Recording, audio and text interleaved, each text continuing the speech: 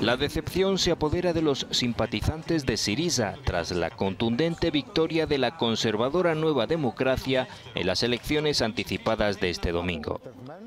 Estoy decepcionado de que volvamos a un punto de vista, a un pensamiento político que es el que expresa Nueva Democracia, que ha logrado volver tras llevar el país a la crisis para sacarlo de la crisis.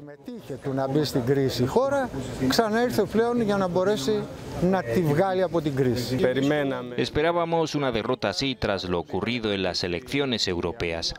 Personalmente no creo que sea un buen resultado para la mayoría de los griegos, pero por supuesto veremos qué pasa.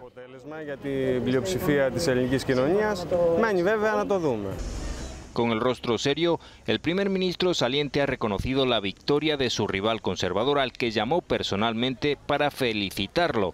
Según anunció, ambos acordaron que el traspaso de poderes tenga lugar este mismo lunes después de que Mitsotakis jure el cargo ante el presidente del país.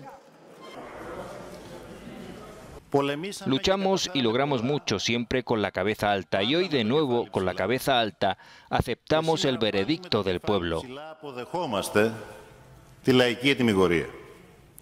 Con la cabeza bien alta, porque sabemos que la Grecia que entregamos al nuevo gobierno no tiene nada que ver con la Grecia que recibimos.